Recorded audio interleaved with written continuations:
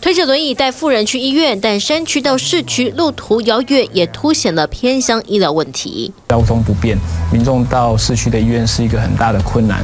新北市卫生局和亚东医院透过五 G 科技的合作，那民众可以就地当地就在我们现场直接和亚东医院的专科医师连连线。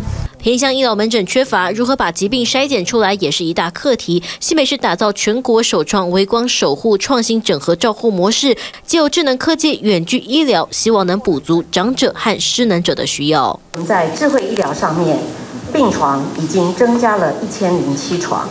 智能卫生所已经完成了七家。新北市四百多万人，偏乡到市区六万五千多公尺，车程两个小时，对长辈来说不是一个短的距离。加上新冠病毒席卷全球，新北市在医疗体系也提高了应变能力，专责病房、防疫巴士、防疫计程车，连照护员也全副武装，透过远距科技服务没有中断。长辈越来越多，在公共托老中心以及荧光未来馆，今年。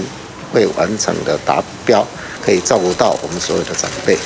疫情当中淬炼出进化版的防疫照护网，预计二零三零年完成二十九区智能卫生所，要打造更安心友善的空间。TVB 新闻总报道，请支持 TVBS 国际 Plus 全新频道，让您扩大视野，掌握趋势，接轨全世界。恳请订阅，开启小铃铛。